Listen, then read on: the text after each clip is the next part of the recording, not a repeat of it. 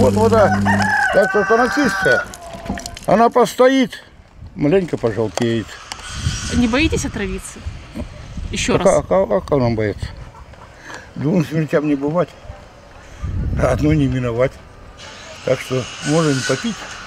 Делает глоток и рискует вновь стать клиентом инфекционки. Месяц назад житель Заринска Анатолий Шадин отравился водой из колонки. Своей H2O у него нет. Из колонки вожу эту воду. Вот э, 60 бутылок здесь.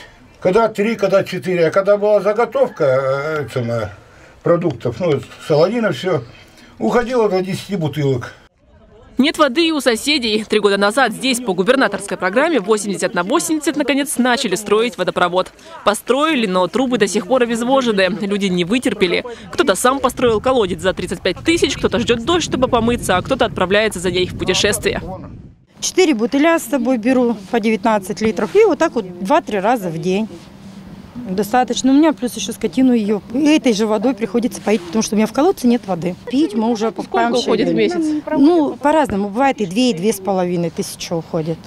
Длина нового, пока бесполезного водопровода почти 7 километров. 20 миллионный тендер на проведение работ выиграла барнаульская компания «Строймастер». Выиграли они 16 июня 2017 года. Начали копать 5 августа 2017 года. Начали копать. Копали, копали усиленно, быстро копали. Все. Мы так радовались, так радовались. Думаю, все, зима, ничего не осталось. Началось лето. Нету их. Нету, нету. Мы знаем даже, что прораб ушел в отпуск. По словам жителей, вернулся подрядчик на объект лишь в августе 2018 года. Работы продолжились, продолжились и странные действия. Кто сдал, кто, говорят, не сдали. Даже в январе они вытаскивали еще э, вон там, например, колодцы и вставляли новые. По контракту должны были выполнить в течение 10 месяцев. Э, Подрядная организация у нас э, к указанному сроку э, контракт не исполнила. Были выявлены недостатки. Недочеты были в основном связаны с герметизацией колодцев, э, с герметизацией стыков труб, э, с установкой пожарных гидрантов. Те недостатки, о которых э, говорит сегодня администрация, они не касались, э, значит, компании «Строймастер». Они касались именно дефектов, которые на сегодняшний день, э, значит, которые на тот момент были обнаружены. То есть замечание, например, чтобы вам было понятно, вода в, в- колодцах.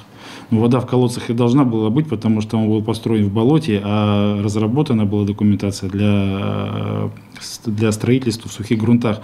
А документацию предоставила администрация города, изначально неверную. Это доказала независимая экспертиза. Власти пообещали скорректировать проектное решение по колодцам, но обещание утонуло в них. Работа в э, мокрых грунтах, а, значит, э, она существенно дороже по сметной стоимости. А проект был бы не 20 миллионов стоил, а стоил бы 28. Подрядчик подал на администрацию в суд, так как ему пришлось потратить около трех миллионов собственных средств. Чиновники тем временем до сих пор ищут арендатора на построенный водопровод. А жители продолжают мечтать, чтобы вода перестала быть роскошью в их домах. Валентина Аскерова, Андрей Печоркин. День с толком.